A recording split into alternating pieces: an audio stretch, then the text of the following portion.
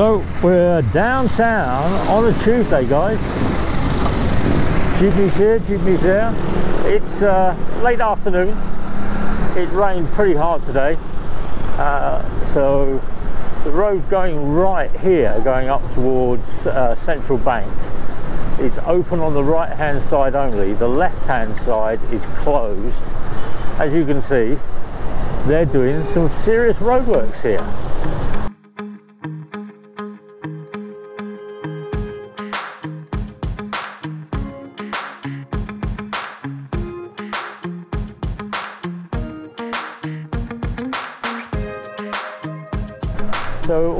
Through here, they're relaying the concrete road uh, on the right hand side and then they will move across to the left hand side which is what I'm on at the moment and they will relay that in the next couple of months and then they will tarmac.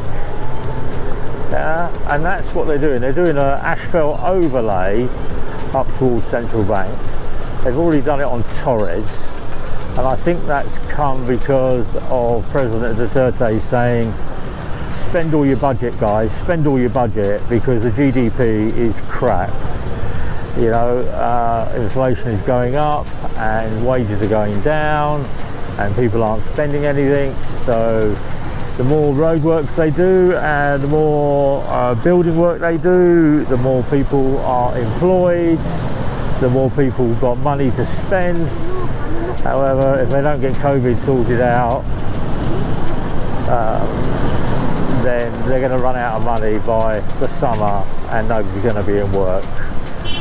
So we're coming along this road here. Um, there was a, an announcement regarding the vaccines. It's going to be delivered a week later. It was supposed to be here on Monday, but uh, there's an issue with delivery or a delay in delivery, whatever it is. But uh, it is where it is. So uh, um, yeah, you just have to wait. Um, I was uh, reading an article about the UK. The UK is uh, has vaccinated 15 million people, so pretty cool, really. Yeah? Uh, and I don't think any, I don't think anybody in the, in the Philippines has been vaccinated. I think there is only two million people being vaccinated in the whole of Europe because they don't have any COVID vaccines. They don't have any uh, structure. But anyway, that's where we are. So it's starting to rain. It's got a little bit of a drizzle. Uh, as I said, it, it, was really hard rain lunchtime today, so I didn't go out. Uh, so this road here will be relayed and rebuilt, like the road on the right. So they have this uh, coming down by the school here they've done a really, really good job. You know, look at that. They've turned around and taken maybe 15 inches of old tarmac and old road up and then relayed and those little slabs you see. See that? See how they're doing it here? So they've done that. They haven't gone all the way down, but they will go all the way down.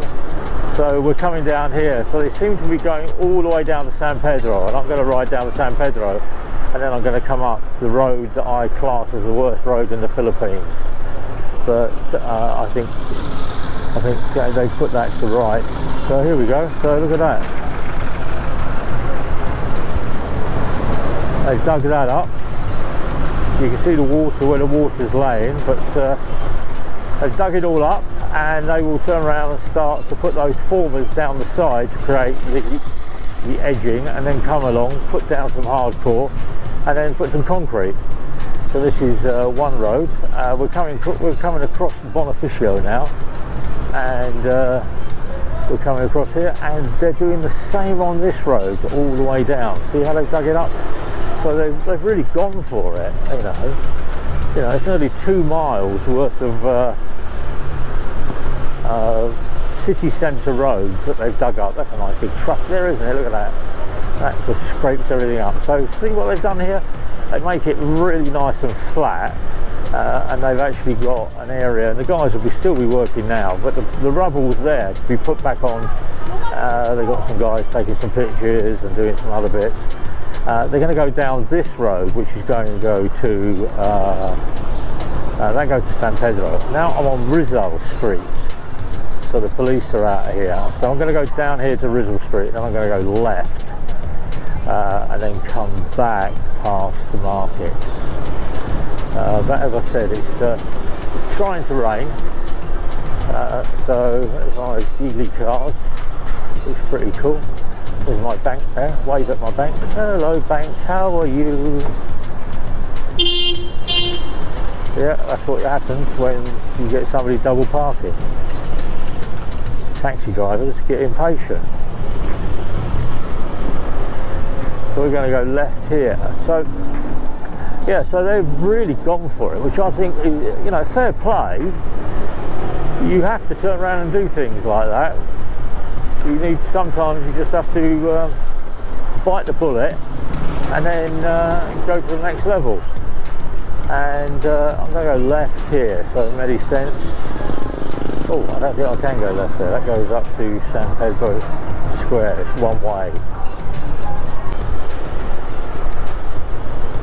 there's Wilson Shopping Centre old school very old so this is the old part of downtown Davao so you can see some of the uh, 1930s, 1940s, 1950s design. Look at this guy. Yeah. Cut the wrong corner.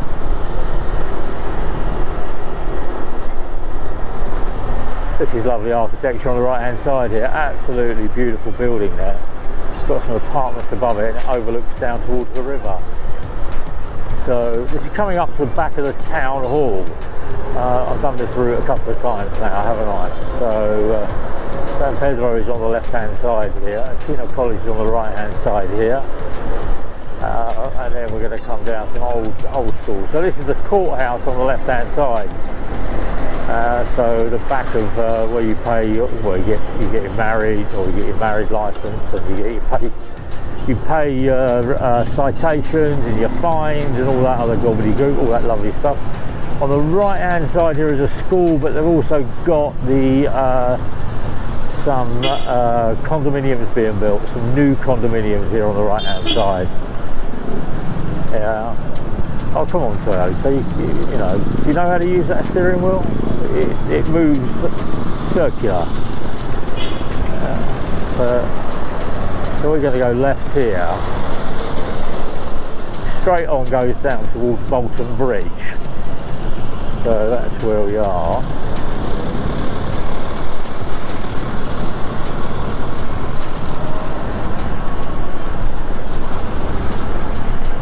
PMP is on the right hand side here behind the bank. But we're going straight on. There's the clock tower at San Pedro. Looking very very nice. There's San Pedro Church on the left hand side there. And this is the road that I class as the worst road in Davao. So uh, it's um, it's full of holes, full of potholes. They just botched it, botched it, botched it, and this is a road they really should dig up and get rid of it, and then put down some more more concrete and then asphalt the top of it. But uh, yeah, I think they've started at the top here. We're going to see that in a couple of minutes. The China Bank, people are turning right. It's getting into rush hour now, so we've got all these guys. This is what makes this road such a, shit tip because people start to weave to get around the holes. They weave to get, get around the, the ruts and the deep the deep holes that they don't want to wreck their suspension, they don't want to smash up their wheels, they don't want to ground the bottom of their car or the bottom of their jeepney. But you can see how the camera's moving, you know, how how cracked this road really is. And it is, but I would say one of the busiest, maybe the busiest road in Davao apart from JP Laurel because everybody comes down to downtown to go to City Hall. The state of this road bit here. You know, and when it rains, it washes out, as I said yesterday, it washes out all of the all the dirt and the mud that fills up and packs it out. So, yeah, it's yeah, very very difficult. But anyway, oh look, there's one of those Hyundai. So I was reading an article, see how that's going through there. Oh Christ. But anyway, so this Hyundai in front of us, I'm getting over. You can put 5,000, or you can put nil deposit down and it's 5,600 pesos a month for five years for that green car in front. So there we go. See, they're doing the work here, putting in, putting in the drains, um, and then covering it all up and packing it all down. Then they're going to come along and then they will dig it up again to put the formers in at the side and then re-concrete this. So hopefully that's going to be in the next know, next month, and then this will be like that other road I just showed you coming into Davao. That is really, really nice and smooth. Indicate left, mate. Turn right. You know the left and right there. See what I mean? See that hole there? So the road is starting to collapse. They're doing the bits on here, but where it's urgent, they're actually getting in, turn around. Oh, look at this. Let's get up onto the concrete.